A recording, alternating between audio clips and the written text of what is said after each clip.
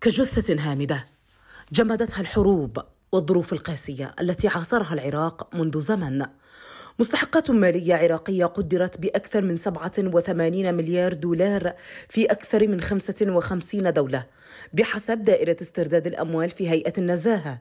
ملف نفخ عنه الغبار السفير السويسري من خلال زيارته الأولى إلى العراق والتي كانت الأموال المجمدة من أهم مضامين زيارته. يبدو أن دول العالم هي أحرص على أموال العراقيين من حكومتهم فمنذ أكثر من عشرة سنين ولا تزال الأموال المجمدة غير معروفة. عقارات أسهم وحسابات لا تزال تحت غشاوة الإهمال الحكومي حتى الآن. ولكن تجري ثمة تحركات من قبل العديد من الأشخاص المجمدة أموالهم من أجل رفع الحجز عنها وسط عدم اهتمام عراقي من الحكومات السابقة. والحالية فهي غير جادة في استرداد هذه الأموال.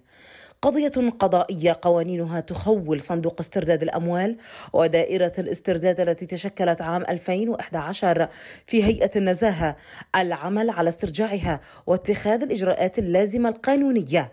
ولكنها فشلت في استرداد الأموال وبقيت الأموال مبعثرة في دول العالم. ضحى عنبر الرشيد.